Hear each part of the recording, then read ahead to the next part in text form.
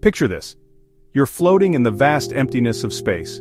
It's silent, serene. You throw a baseball. What happens? You drift backward. This is Newton's third law in action.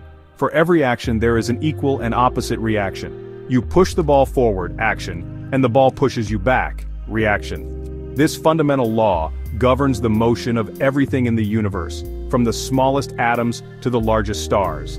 It's the reason why we can walk, jump, and even fly. The force you feel pushing back is the reaction force. It's always equal in strength to the force you apply, but in the opposite direction.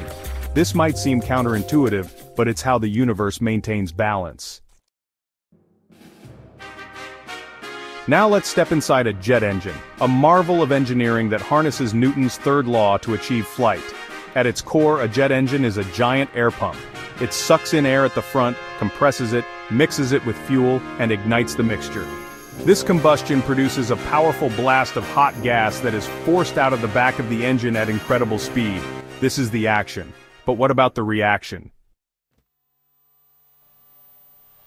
Here's where Newton's third law takes center stage. As the hot gas is blasted backward, it exerts an equal and opposite force on the engine, propelling it, and the airplane attached to it, forward. Imagine a balloon. You blow it up and let it go. The air rushing out the back, action, propels the balloon forward, reaction. A jet engine works on the same principle but on a much grander scale. This continuous cycle of sucking in air, igniting fuel and blasting out hot gas creates the thrust that lifts massive airplanes into the sky and propels them across continents at incredible speeds.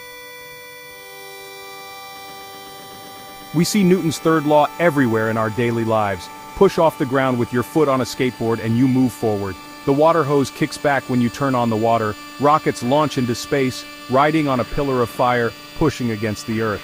Newton's third law is more than just a physics principle, it's a fundamental truth that governs the universe, a cosmic dance of action and reaction that allows us to explore the skies and beyond.